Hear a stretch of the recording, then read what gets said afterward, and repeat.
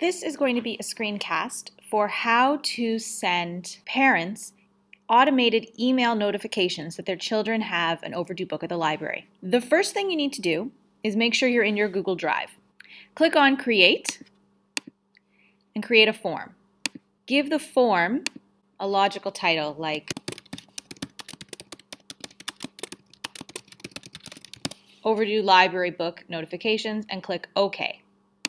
That title automatically ends up right here. The first question should be name. Make this question choose from a list. And then in the option one box, you can actually copy and paste a list of names that you already have in another spreadsheet or in a, in a chart, and it will automatically populate into these cells. But for the meantime, I'm just going to put in my own name just as a start. Make this question required and click Done. For the next item, you do want a text. You're going to have book one. Make it required because the reason you're sending the form is they have at least one book overdue. Then you can actually just use this icon right here, which is duplicate. Just change it to book two, but do not make this one required because they may only have one book overdue, and these are just in case. Duplicate that question again, book three, not required, done. The next item is going to be original due date. And instead of a text, scroll down and choose date. I like to keep the year included. With the year included, you have this option of a calendar to choose a date. If you don't include the year, that option goes away and makes it a little bit more difficult. Make that a required question.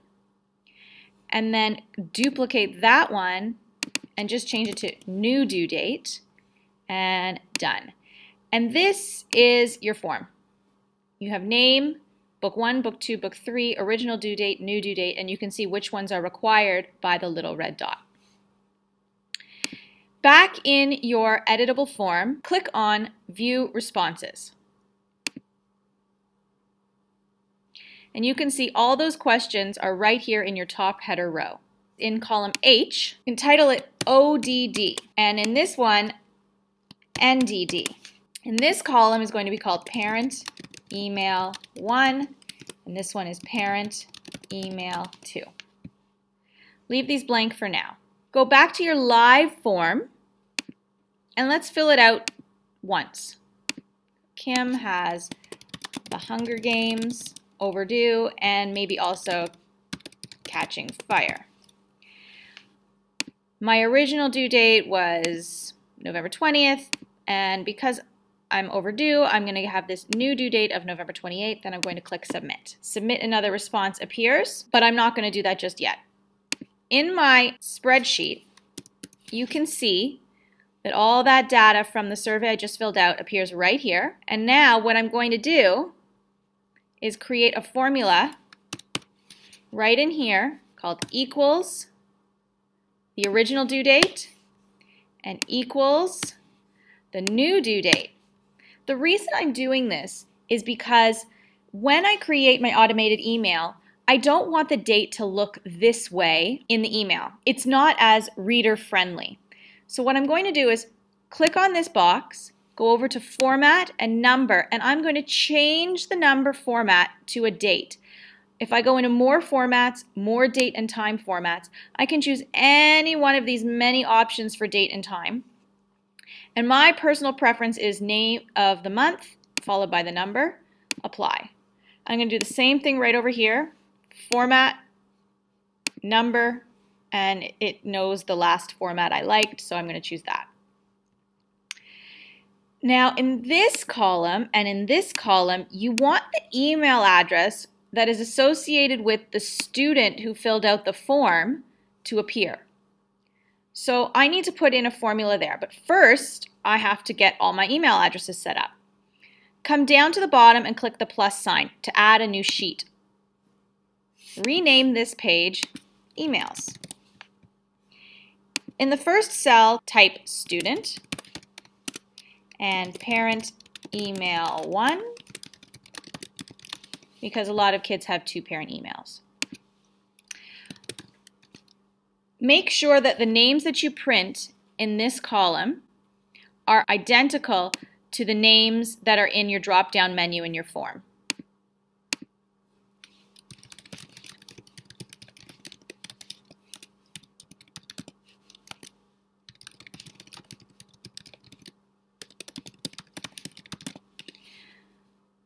So imagine I have a hundred names filled in right here. All the students from my school and all their email addresses.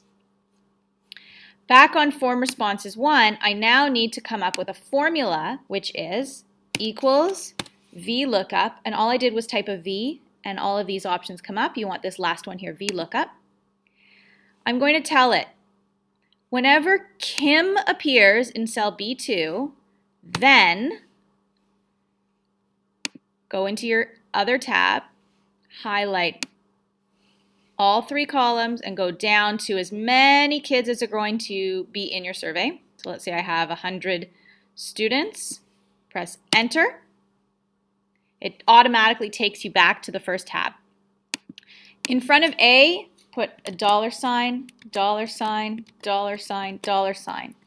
After the 100, put a comma and the number 2 because the email address is coming from the second column on the emails sheet, comma, false, so that it stays consistent, and then go to the end and press enter. And you'll see here that because my name is Kim, this first email address pops up. Now I don't need to retype it. I can just Control C or Command C and paste Command V or Control C. Now it says not applicable. The reason is when I pasted it, the cell reference has shifted over to the right by one. All I need to do is change this back to a B and it's done. But the issue is these are the same email addresses. That's not going to help me. What I need to do is make this email address come from the third column. So I'm going to change the 2 to a 3 and there we go. Now I have, because Kim filled out this survey, I have one email address and two email addresses. At this point, I need to start doing my add-ons. I'm going to go into add-ons and I'm going to go into get add-ons and I'm going to search for an add-on called copy down. This is the copy down add-on from the New Visions Cloud Lab, Andrew Stillman's script, which is incredible. Now mine has already been added, so yours will say free. Click on free and it will add it to your add-ons gallery. Copy down, copy down setting. The sidebar opens up and just click on and then you're going to check all of the boxes under the paste as values column. This means that any formulas in the second row of your sheet, which is right here, will automatically be copied down every time a new form is submitted, which is great because that means that this formatting will be copied down and these two VLOOKUP formulas will be copied down. Click Save, and that's done. So now, fill out another form. Has an overdue book called Divergent, and it was due on November the 1st, and now it's going to be due on November the 27th. So here you can see Kim has divergent overdue, and here is the new formatted original due date and the new format or uh, new due date. And the email addresses have been pulled down right away. Perfect. We're ready to put in our next add-on. Again, go into the Get Add-ons gallery, and you're going to search for FormMule two M's. Again, I've already added it, so for you it will say free. You click free. And then go into your add-ons gallery. Here's what it would look like and click launch. When it opens, you want to select the sheet that's going to contain all of the email addresses and any of the other information that's going to be in your email. And that for us is coming from Form Responses 1. This is the really nice part. You can set this to trigger on submit. So every time you fill out this form that a student has an overdue library book, it will automatically send the email right away. You don't have to do this. You can send it at the end of the day and do it all manually, but this is nice so you're not doing double work. Click Next. how many unique email templates do you want to use? So leave that as a 1, and we can name this email template overdue library book notifications, and you are going to send it for all rows in your spreadsheet. Save the template settings, and now you're going to move to edit your template. And this is going to be basically the last step. In the to column, put your cursor, scroll down the merge tags, click parent email 1, comma, parent email 2. And now it's going to go to both parent email addresses.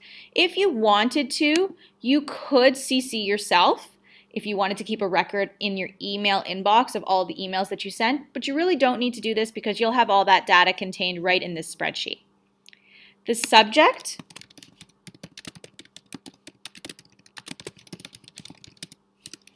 overdue library book notification for, and now scroll back up to the top for name. The name is right in there. Now for the body of the email, I've actually written this out just to speed up the time. To the parents or guardians of name. So just going to keep pasting it here. Parents or guardians of name.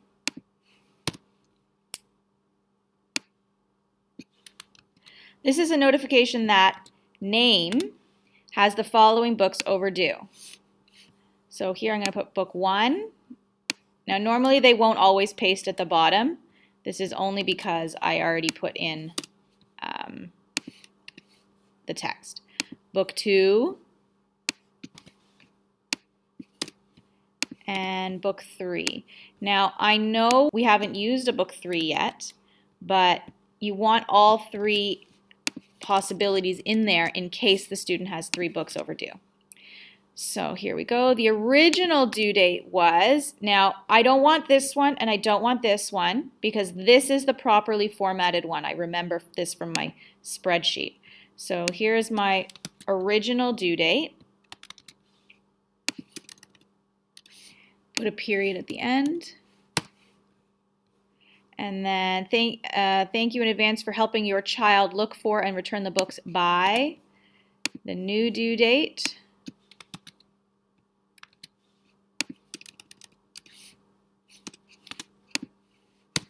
Please do not respond to this email. Thank you. You can add something in like, feel free to contact me at uh, one, two, three. If you want to give them a contact number, thank you. And there we go. Now we can preview it. So for the first line, it's going to say to the parents or guardians of Kim, this is a notification that Kim has the following books overdue. And what I'm going to do is preview this and send all. Now it's going to show me what the email is actually going to look like. It says here, number of emails FormMule will attempt to send, two. Here's what the template was called. It's coming from the second row in my sheet. Here are the email addresses that this is going to go to. The subject, and there we go. The original due date, it's now due by then. And here's the second one. Now if I click send now,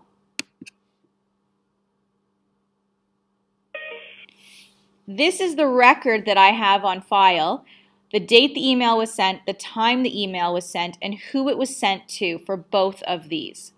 If I go into my email inbox, I see right here, here are the two notifications.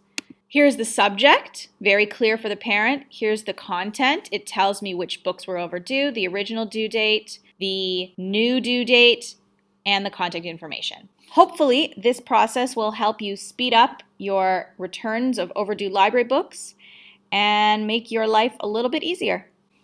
Feel free to let me know on G Plus if you have any questions. I'm plus Kim Pollishuke or on Twitter at, at Kim Pollishuke.